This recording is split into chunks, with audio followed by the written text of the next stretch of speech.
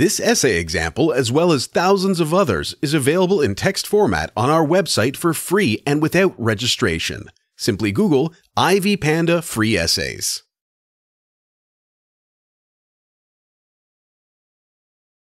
The 18th century French philosopher Denis Diderot's remark that only passions, great passions, can elevate the soul to great things is significant and deserves primary attention.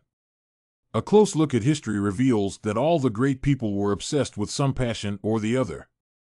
An individual's ambition and passions are closely linked, as one is most likely to pursue his most dominant passion to cherish his ambition in life.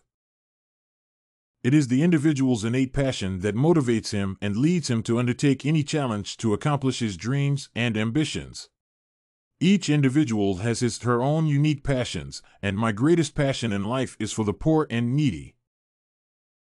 Hailing from an impoverished region in Russia and having lost my dad at the age of 15, I always had a passion for making this world a better place for the poor and the homeless children whom I came across from my early childhood onwards.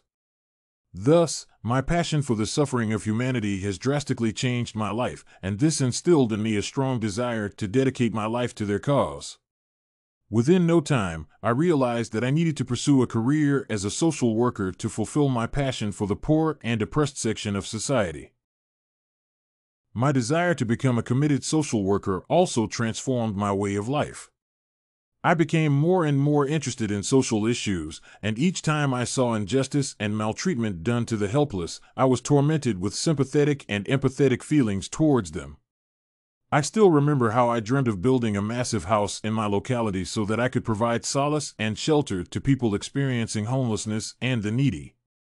I even cherished the fantasy of building a shelter for the strayed animals and birds that did not have a resting place to sleep.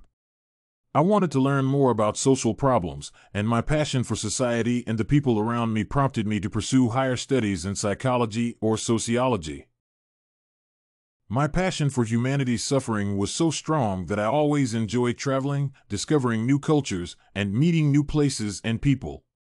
Knowing more about various cultures and human beings provided me immense satisfaction, and I used to spend sleepless nights learning about human behavior and psychology.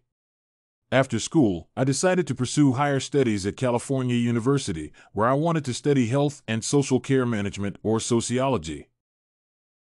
My family members realized how determined I was in the pursuit of my ambitions, and I am grateful to my mother and relatives for providing me with constant support, encouragement, and confidence.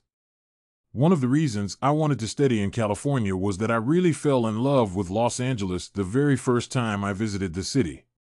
Besides, I am fascinated by the American culture, and I believe that Los Angeles is the right place to equip myself with the necessary knowledge and skills to cherish my passion in life for helping humanity and making the lives of the people around me happier. Thus, my passion for the cause of the poor, the helpless, and the needy has contributed both to my personal and professional growth. The years I worked hard to accomplish my innate passion also saw me through the development of my personality.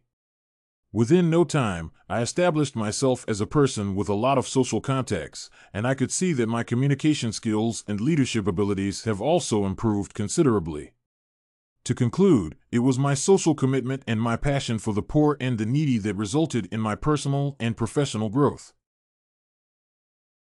If you want to find more works like this essay on my greatest passion and how it has contributed to my personal growth, head over to ivypanda.com.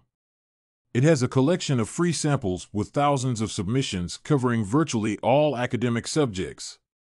No registration required to access it.